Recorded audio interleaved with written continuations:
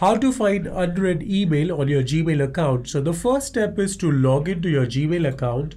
So once you're logged into your Gmail account, the inbox gets uploaded out here and you will see that you know some of the mails are read and some are unread.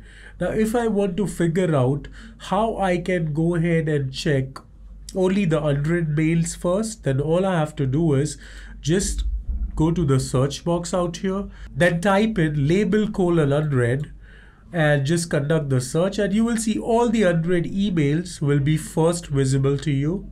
So that's one way of doing it. Now also I have one more way to go ahead and set a default settings that whenever you log into your account, the first thing you're going to see is the unread mail. So for that, you have to just go and click on the right hand side. There is a settings gear icon out here. So click on that. Once you click on that, go to see all settings option. So click on that as well. Once the page is loaded to see all settings, you will see that there are a number of options available out here like general, labels, inbox, accounts and import, filters, forwarding and add-ons. So from these options, you have to choose the inbox option. And in the inbox option, again, there will be an inbox type option available under inbox from that you have to you will see a drop down box out here.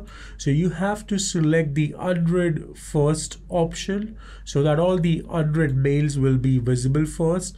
Now not yet the settings are not yet changed. So scroll down of this page and save changes so once you do save changes the settings will be saved and you will see that all the unread emails are first visible to me when I open my Gmail inbox. So that's a pretty simple and a straightforward process to go ahead and check the unread emails or go ahead and uh, change the settings wherein you will get the unread emails first visible in your inbox. I hope this video was informative. Please subscribe to our channel and press the bell icon for more such videos. Thank you.